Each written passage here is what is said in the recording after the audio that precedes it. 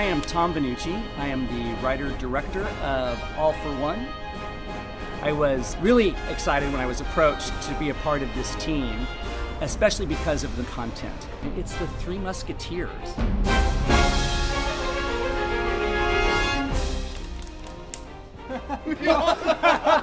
I'm Kevin.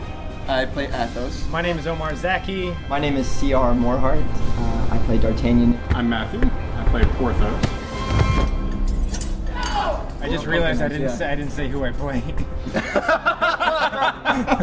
and I play Aramis.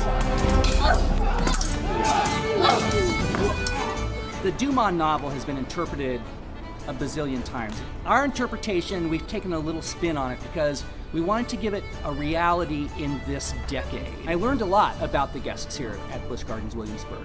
And so we kind of tailored the story a little bit to fit that broad demographic. So there really is something for everyone.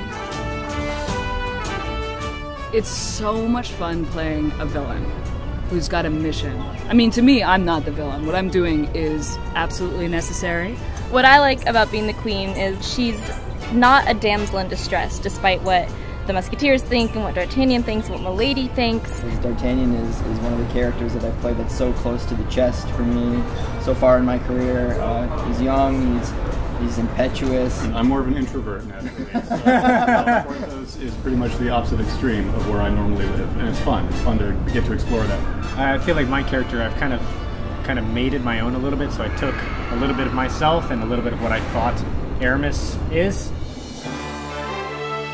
Rehearsal process, we actually find out that their characters start to really grow. The best part is watching characters have relationships within the play themselves.